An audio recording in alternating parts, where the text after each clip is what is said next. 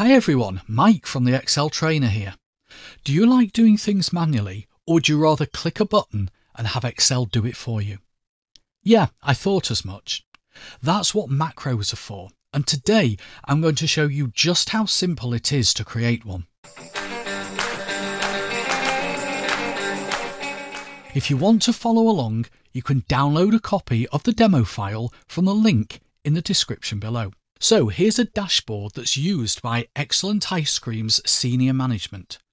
And for the revenue per month, they like to switch between a column chart and a line chart. Now, why not just create two charts? Well, in the real world you might, but this is a demo. Anyway, to do it manually, they'd have to select the chart, then go up to the Design tab, click on Change Chart Type, and choose the line chart. And then when they're done looking at that, they'd have to click on change chart type again, click on column and choose the column chart. Now, wouldn't it be much, much quicker to click a button and have that happen automatically? So I've created two buttons and each button has a macro behind it. So if I click the line chart button, it runs the macro that converts that chart to a line chart. Click the column chart button and it runs a macro that converts that chart to a column chart. Another example of where they could benefit from a macro is that we have two slicers on the dashboard. The slicers allow you to apply a filter. So if I clicked on the Sarah button on this slicer over here, it applies a filter to only show me the sales for Sarah. If I want to look at Sarah's sales for the first three months of the year, I'll click on the January button, hold the Command key down and keep it held down and click on February and March. But what happens when I finish looking at that data and want to clear the filters? I need to click the clear filter button. There's one at the top right of each slicer, but that would mean clicking it twice. So instead, I've created a macro, I've attached a button to the macro, and when I click the button, it runs the macro. Okay, it's not a huge time saving, but apply the concept to a process that, done manually, takes say 30 minutes, and there's 29 minutes and 59 seconds saved. Okay, let me show you how to create a macro. Actually, I'm going to create three macros. But before I create a macro, I have to make sure that the developer tab is visible. And by default, it's hidden. So I click on Excel on the menu bar, just to the right of the Apple logo. Click on Preferences. Click on Ribbon and Toolbar. And on this right hand panel, scroll down to the bottom and put a tick against Developer. Click Save and close the preferences. So now if you look at the ribbon, we've got the developer tab. The first macro will convert the column chart to a line chart. Now, I want to include selecting the chart as part of the macro because if I don't, that means the user has to click on the chart before they run the macro. If they don't, it will try and convert the currently selected object, which could be another chart, it could be a cell, but it will try and convert that to a line chart. So I'm not going to click the chart now, I'm going to click the chart when I create the macro. The way I'm going to create the macro, by the way, is using Excel's macro recorder. So to do that, click on Developer, Record Macro. I need to give the macro a name. Now there's a couple of rules here. Macro names must begin with a letter and cannot have any spaces in them. So I'm going to call this macro line chart and click OK. Just before I do click OK though, um, the macro is going to be stored in this workbook. There's several places you can store the macro, but in this case, the macro is really part of this file, so it needs to be stored in this workbook. You can, if you want to, assign a keyboard shortcut key to the macro. So let's say Command Option L, L for line chart. So when somebody presses Command Option and L in this file, it will run this macro. But because I'm going to assign a button, I'm not going to assign a keyboard shortcut. So I'll just click on OK. And as soon as I click OK, the recorder begins recording. And you can tell that because on the developer tab, we've now got stop recording instead of record macro. So everything I do now, every mouse click I make, everything I type will be recorded and become part of the macro. So what I'll do is I'll click on the chart to select it, go up to design, go to change chart type, click on line and select the type of line chart that I want. And that's all I want the macro to do. So I'm going to go up to the developer tab and click stop recording. And that is our first macro done. The second macro will be almost identical. It will convert the line chart to a column chart. So I'll just click away from the chart so that I can select the chart as part of the macro and go to developer, record macro, and I'll call this one column chart. Again, I'll make sure that it's stored in this workbook. I'm not going to assign a keyboard shortcut key and I'll click OK. So we are now recording. Click on the edge of the chart, click on design, change chart type, column, and choose the type of column chart. And that's all I want the macro to do. So I will click on developer, stop recording. The third macro is going to clear both filters. So for that to work, I need to apply a filter. It doesn't actually matter what I select. So I'll just pick Angela and January. And what I will be recording is clicking the clear filter button on each slicer.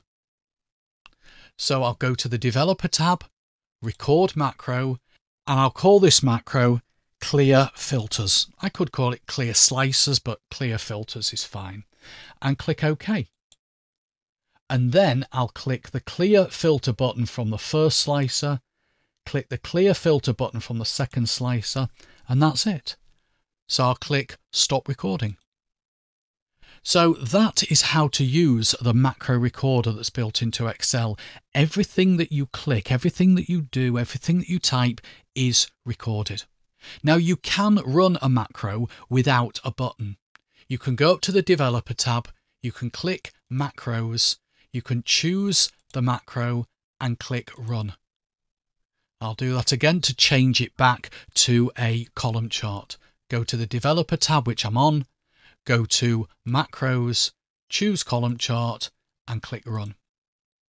But it's much quicker, it's much easier for end users just to have a button. So how do I create a button? Well, there's actually a couple of ways.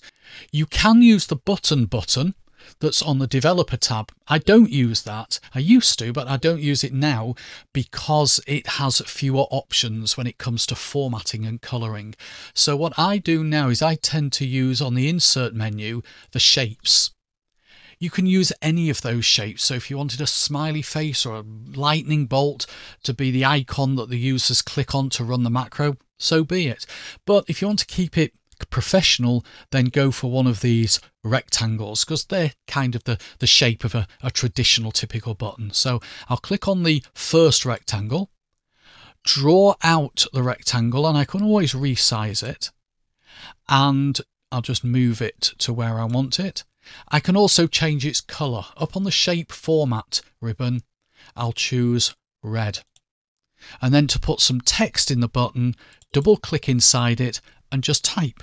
So I'll put here line chart. I can it doesn't have to be the name of the macro.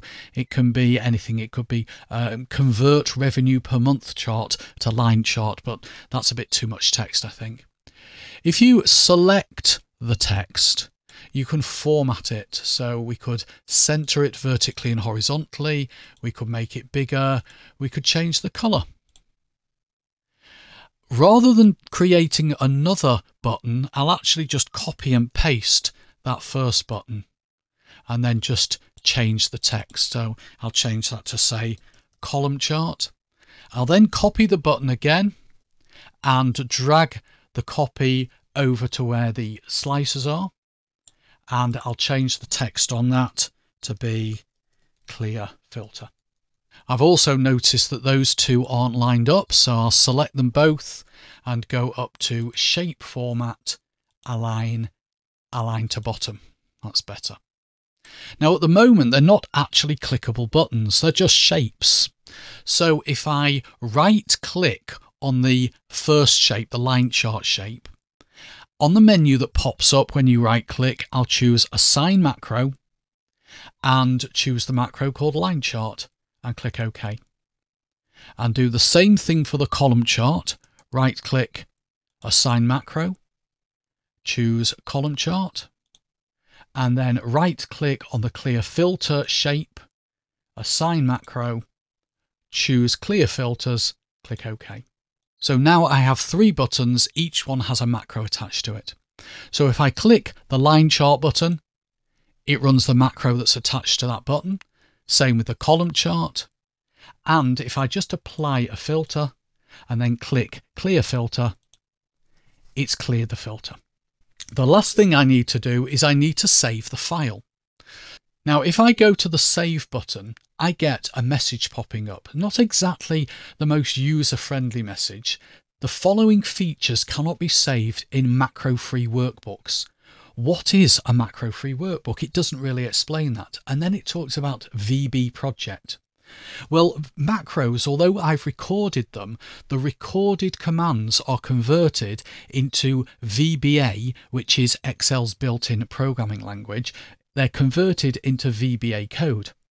And standard Excel files, files with an XLSX extension, can't have VBA code in. So if I want to keep the macros, which obviously I do, I have to click on No and then change the file type to a macro enabled file, which I'm going to do. If I click on yes, I'll actually lose all the macro that I've created and it'll just save it as a standard Excel file. So read that message carefully. I do know people that have clicked yes too quickly and lost the macro they've created and had to start again. So I'll click no. And then I will change the file type to macro enabled workbook. I'll keep the file name as basic macros and I'll click save. And that is how to create macros and attach them to buttons. If you found this video useful, please give it a like. And if you're not already subscribed, please consider subscribing to the channel. If you have any suggestions for future videos, please let me know in the comments. My free weekly newsletter is packed with tips and tricks to help you become more productive in Excel, and you can sign up to that at theexceltrainer.co.uk. But until the next time, have an excellent day.